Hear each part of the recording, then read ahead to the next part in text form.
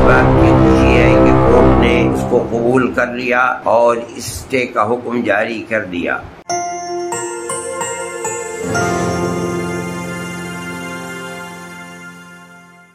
अंदर जो वाकयात मजलूमीन के मकानात के ऊपर बुलडोज़र चलाने के हुए थे जमीतुलमा हिंद उस मसले को लेकर सुप्रीम कोर्ट गई थी।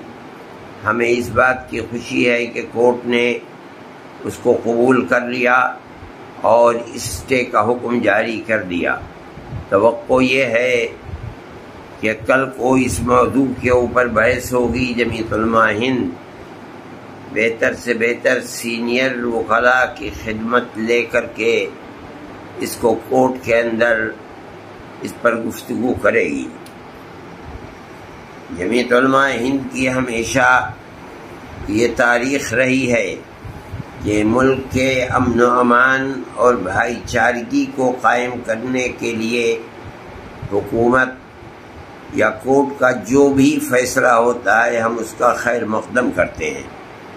हमें ये यकीन है कि इस सूरत हाल में जिसमें पूरा मुल्क बेइतमानी को महसूस कर रहा है कोर्ट का फैसला इन इत्मीनान और सुकून देने वाला होगा और वो फैसला हमारी पुरानी तारीख जो मज़हब से ऊपर उठकर मोहब्बत का पैगाम देने वाली है, अल्लाह चाहेगा तो उस पुरानी तारीख के मुताबिक होगा।